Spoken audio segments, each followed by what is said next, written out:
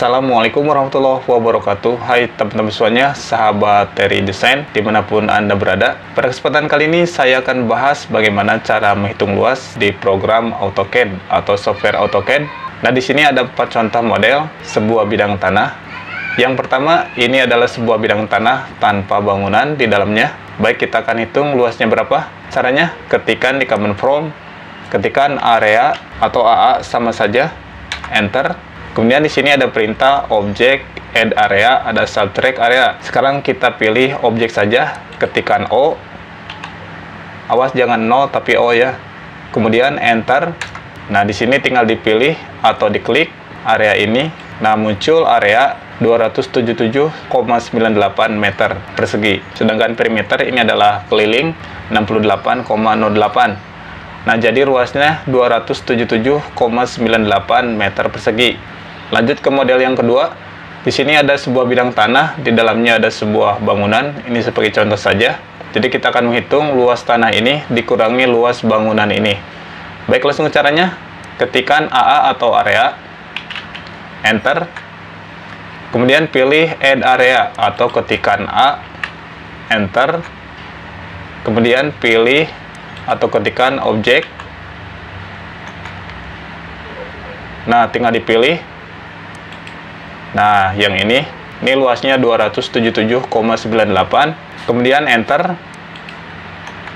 Nah, di sini pilih S atau ketikan S, subtract area. Ketikan O, enter. Pilih bangunan. Nah, yang ini. Nah, otomatis luasnya terkurangi. Ini bangunan luasnya 31,68. Jadi, luas ini yang warna hijau 246,30 meter persegi. Ini saya enter saja. Nah jadi luasnya 246,30 nah ini untuk model yang kedua. Lanjut ke model yang ketiga. Nah di sini ada sebuah bidang tanah. Ini terpotong jalan. Jadi kita akan menghitung luas ini dan luas ini. Nah bagaimana caranya sama ketikan area atau AA enter. Kemudian pilih add area atau ketikan A. Kemudian pilih atau ketikan O. Enter. Kemudian pilih yang ini. Kemudian pilih yang ini. Nah total areanya 257,04 luas yang ini sama yang ini. Nah lanjut ke model yang keempat di sini ada bangunan seperti yang tadi cuma saya kasih bangunan di area sini. Jadi kita akan menghitung luas ini dikurangi luas bangunan yang di dalamnya. Bagaimana caranya? Sama seperti tadi ketikan AA atau area. Kemudian pilih atau ketikan A. Ketikan O enter. Pilih yang ini. Kemudian pilih yang ini kemudian enter. Kemudian pilih S atau ketikan S.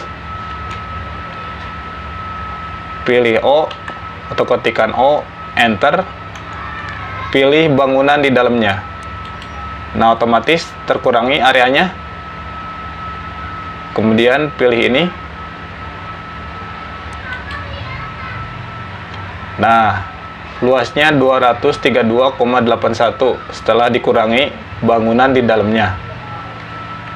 Nah, total areanya 232,81. Nah, demikianlah cara menghitung luas di program AutoCAD. Ini ada empat model. Silakan teman-teman coba. Jika ada pertanyaan atau kendala, silakan tulis di kolom komentar. Nah, sekian tutorial kali ini. Mudah-mudahan bermanfaat. Silakan teman-teman coba di rumah.